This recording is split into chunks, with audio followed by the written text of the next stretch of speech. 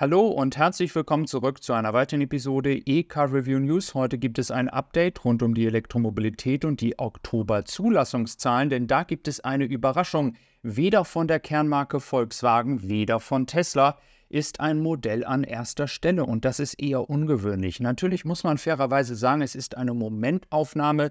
Monatszahlen können immer stark variieren. Am Ende zählt der Trend und der zeigt Volkswagen an erster Stelle in diesem Jahr bis dato und Tesla an zweiter Stelle.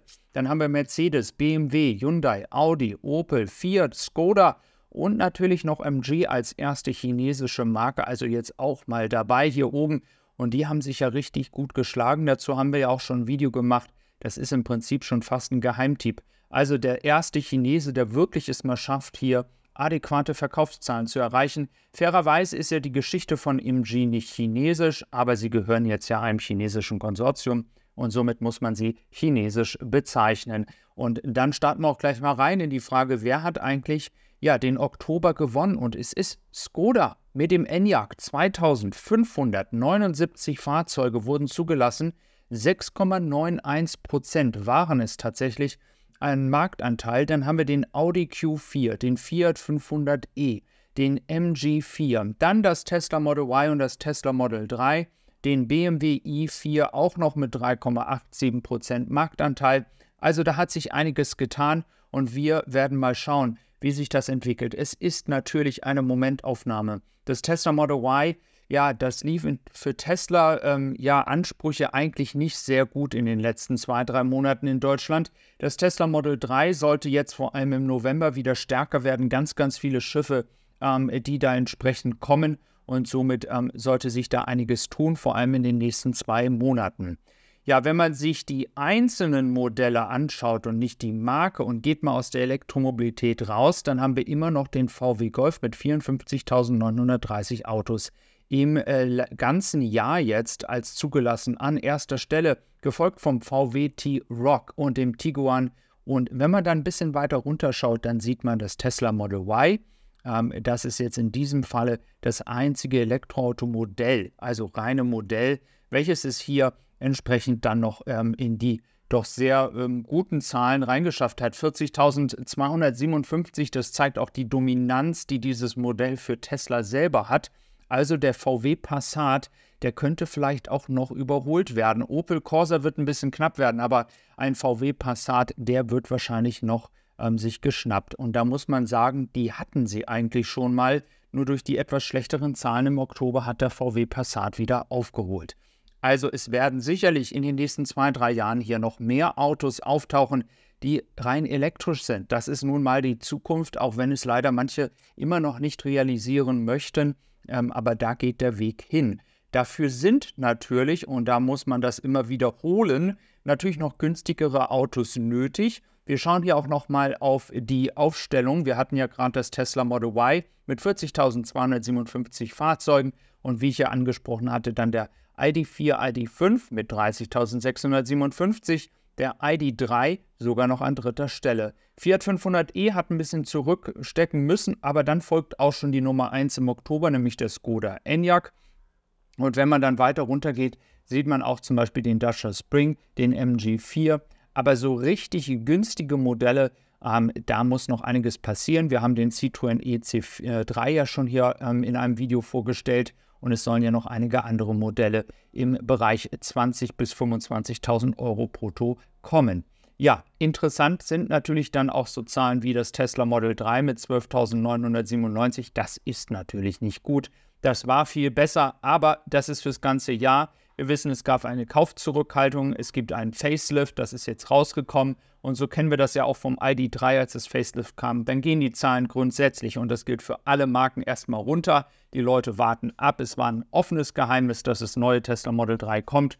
Und jetzt kommen eben halt ganz, ganz viele Schiffe. Und dann sollte sich das auch im nächsten Jahr wieder verbessern. Oder vielleicht auch in den nächsten acht Wochen könnte sich hier das Tesla Model 3 noch weiter nach oben schieben.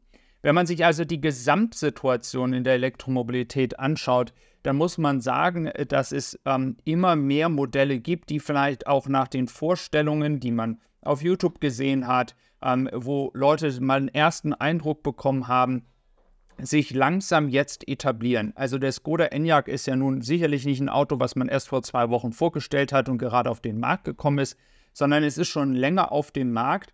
Man hatte aber einfach lange auch Schwierigkeiten, genügend Teile zu finden. Viele Produkte wurden während der Corona-Zeit vorgestellt und haben dann viele Bestellungen bekommen und dann hat es einfach mal ewig gedauert, bis die Produktion richtig an Fahrt gewinnt. Und genau wie Tesla das ja auch hatte, das Problem im letzten Jahr, dass man einfach immens viele Bestellungen hatte, fast 400, 500.000 Autos ähm, ja an Reservierungen hatte und Wartezeiten waren ja immens, ähm, hat sich das ja inzwischen auch wieder beruhigt und man ist nur noch bei diesen normalen 80.000 bis 90.000 Fahrzeugen ungefähr. Und so geht das natürlich dann auch anderen Marken wie Skoda. Man kann jetzt ausliefern. Es gibt jetzt Fahrzeuge, Kunden, die eben halt jetzt kaufen möchten. Die haben die Möglichkeit dann auch nicht mehr ewig zu warten. Und das fördert natürlich manche Modelle, die entsprechend in Vergessenheit geraten sind vom VW-Konzern, aber auch von anderen Marken, wo dann entsprechend jetzt die Leute sagen, okay, jetzt kann man kaufen. Das hängt natürlich dann immer bei einigen Modellen auch immer davon ab, gibt es bald irgendwann ein Facelift, ähm, das ist ja ein Turnus, der immer schneller sich dreht. Vor allem bei der Elektromobilität geht es ja auch um die Batterie. Und äh, bei Batterien gibt es auch sehr, sehr, ähm, ja, viele, ähm, viele ähm, Fortschritte und die werden auch noch in den nächsten Jahren ähm, schneller voranschreiten. Und das ist vielleicht das einzige und der einzige Nachteil der Elektromobilität, wenn man jetzt kauft, dass diese Fortschritte, die sind so wie damals ähm, mit dem Fernseher. Fernseher wurden immer besser, Qualität wurde immer besser, die Bildschirme wurden immer flacher. So ist das zum Beispiel ähm, ja entsprechend hier auch mit dem ähm, Bildschirm zu Hause, wenn man den PC hat oder dem Handy. Und so geht es eben halt jetzt auch der Elektromobilität. Und äh, somit muss man leider sagen, dass natürlich Autos sehr, sehr viel Geld kosten. Und da liegt natürlich noch ein bisschen ähm, das Risiko. Also, lass mich gerne mal wissen, was du, du, zu dieser ganzen Thematik denkst. Das würde mich natürlich sehr freuen. Du kannst übrigens auch auf EK Review dein Elektroauto bewerten, wenn du bereits ein Elektroauto fährst.